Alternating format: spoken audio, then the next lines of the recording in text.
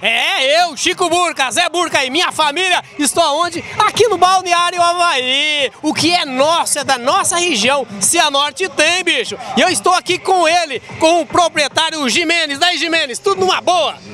Tudo numa boa.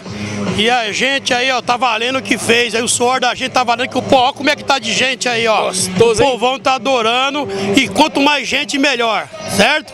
Então é isso aí, ó. Quanto mais gente, melhor.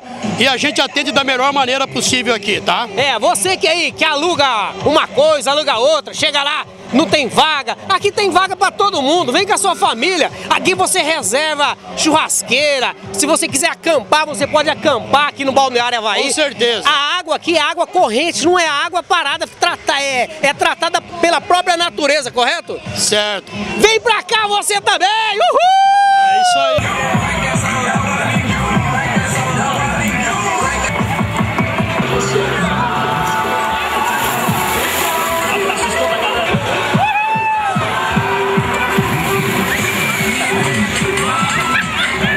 Uh, é, moçada, calorzão gostoso. Eu estou aqui aonde? No Balneário Havaí, é. Estou aqui com um amigão nosso. Daí, bicho, tudo beleza? Beleza, filho? Então é o seguinte, onde você mora em Cianorte? Não, eu moro em Campo Mourão, cara, não é Cianorte não.